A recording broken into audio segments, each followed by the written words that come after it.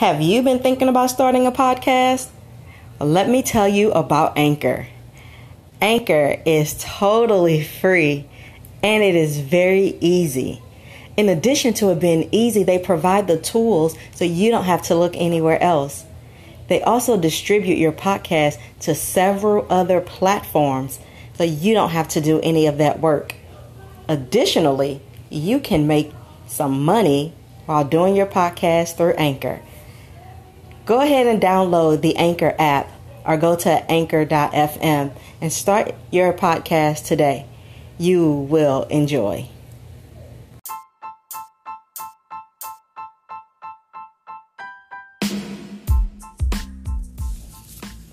Hey, hey, Awaken Love couple. This is your hot and holy love coach, Chara Taylor, and I want to welcome you to another episode of Keeping Your Marriage Hot and Holy. So, we're going to stay in the same vein of talking about how we can actually get to hot and holy. So, listen, guys, staying in the throes of hot and holy is deeply engulfed in the constant ability to communicate on a level that reaches beyond the heart of a person and touches their innermost being, the soul. It is words and actions that cause our soul to expel and incapacitates the body and tells our body to respond with passion, affection, and desire. You know, this kind of communication bonds people's heart, mind, and soul together and then causes a reaction in the body. You've probably heard of this before, but you've probably blown it off and refused to apply it like you've refused to apply other things you've heard that could save your marriage. Listen, we're all guilty, okay? Look, look, look, look. There are numerous studies to prove this type of uh, effectiveness. There have been books, there have been devotionals, there have been retreats. It's been used in formal marital counseling. Yep, I'm talking about the five love languages. So now, before you tune me out or turn it off, hear me out as I put this in a language that we can understand. Dr. Gary Chapman, who is responsible for the discovery of this marriage and relationship miracle, he did a phenomenal job helping us understand that each of us receive and understand love differently. His work has revealed we enjoy it. We are at our most joyous time when somebody is spending time with us and their undivided attention is solely on us and we're doing things together. Some of us feel loved when someone physically touches us, like hugs us or rubs us or cuddle, etc. Some of us feel loved most when someone gives us some fascinating compliments or some verbal praise to those people that says, I love you. Now, some of us feel love when someone does something very nice or very kind for us without us having to say anything to them to get it. That speaks love. And then there's some of us who feel loved most when someone gives us a gift. Those are the five love languages. Gary Chapman calls them quality time, physical touch, words of affirmation, acts of serving or service, and gifts. But that tells us how we receive love. So, one way to determine which of these are your top two or which two of these are your top two is to pay attention to how you express love because we typically speak our own language fluently and flawlessly, right? So, if English is your natural language, then you have very little difficulty speaking it to others. But if someone speaks a different language to you, then you look at them strange because you don't understand what they're saying. They are not wrong, you just don't understand. And it is the exact same thing that happens with love languages. You speak what you know and what you desire, and then the other person speaks what they know and what they desire. Okay? So, but the key is what we have to do is to learn our spouse's love language. We have to listen to them because they tell all when they are complaining. We tell all when we are complaining. You never spend enough time with me. We never do anything together. You never want to hug me or touch me. Why don't you hold my hand? When are we going to cuddle?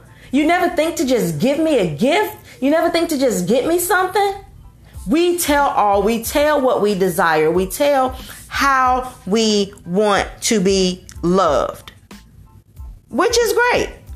The problem is you have to have some leniency or some grace. Give some grace, understanding that your spouse does not speak your language naturally. So your spouse is going to have to take time to learn a new language. You can help in that process, but don't have all of the expectations that they are going to speak this language and speak it fluently and speak it all the time because what comes natural is to speak what you naturally speak. Okay, so hopefully that helped you a little bit. Now, I want to tell you that I have two problems with these love languages. I think they're nice, I think they're amazing. It's how we were created but I have two problems with them when it comes to our relationships. One, I just kind of briefly spoke on it, is that we expect our spouse to know exactly what to do. And they don't. It's foreign to them. The second problem I have is we expect our spouse to fulfill an area that they did not create. So follow me on this. Have you ever considered that God wants to connect with you and speak to you in these very areas? Because he's actually the one who created you and put that language there. So since he is the creator of it, then maybe that's how he wants to communicate and to connect with you. Let's think about the woman at the well. If you know the story in the Bible where Jesus was spoke, speaking to the woman at the well and he told her, If you drink of the water that I give, you will never get thirsty again. So he was telling her that if you connect with me on this level, I will keep you fulfilled. The same thing applies to us when it comes to our love language. If you're always asking for quality time from your spouse, then I can bet you that God is seeking to have some quality time with you. If you're always seeking and looking for verbal praise and constant affirmation from person after person, I am willing to bet you that God is trying to let you know who you are in Him and to affirm you through and in Him. Same thing with physical touch. Many people don't understand that God wants to give us the, the, these pressures on our spouse. But I'm willing to bet that God wants to do that. Even when it comes to acts of service, which is one of mine. And I've learned that God wants to do special things for me that nobody else can do. And he has been proving that he has been filling that area. And the same thing with gifts, where he wants to endow us with not only natural gifts, but spiritual gifts. And we keep seeking to have our spouses to complete these areas. So if you allow Jesus to speak to you how he created you, then the desire will be fulfilled. That does not mean that our spouse will not speak some of those languages to us, but it will relieve our spouse of that pressure of having to learn this and relearn something that they totally do not know.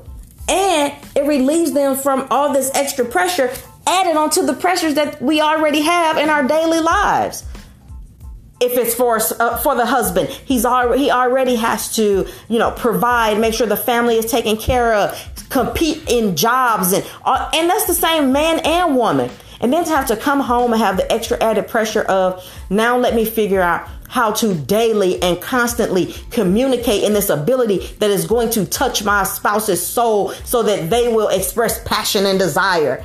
Okay that's fine for a little bit but come on now. The reality is you can't keep that game up.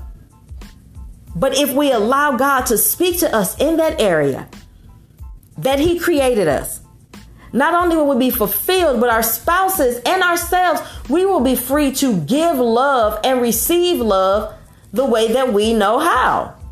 And it'll be okay. We won't have all these extra ex- expectations. All the extra expectations do is cause extra chaos and confusion and division. So my, my my plea for us is not to forget about our love languages. No. That's how we were created. But seek to allow God to fill those areas that he created in us. And then accept, you know, enjoy it when your spouse does do it, that does not give them a free reign or free course to not speak the language, yes, they should be trying to fulfill us. We should be trying to fulfill one another. But we can avoid a lot of chaos and we can get to hot and holy if we will allow God to speak to us in the way that He created us. Now I'm going to get back to these love languages because when we are trying to speak our spouse's love language, it is very important that you learn your spouse's love language. It is very important you learn some of the ways that make them happy. For instance, when it comes to gifts, there's certain people who only feel love when they get a gift. I am not a good gift giver. So you're going to have to tell me what kind of gifts you want. So if you if your spouse likes to get gifts, then you need to ask. Pay attention to the things that they say when they are talking in just regular conversation. Oh, I would love to have this. I would love to have that. And you have to communicate with your spouse. I've had to ask my husband, can you please come up with a gift that is tangible that I can afford and that's something I can do. Because my husband, his idea of gifts is what only things that God can do. And I'm like, can you bring it back down to earth, sir? Please, I need you to bring that back to earth so that give me a gift that I can give. If it's cuddle and your spouse doesn't like to cuddle or like to touch, then find out what is going on. It could be that your spouse was sexually abused and has still has an issue in that area and it hasn't been healed.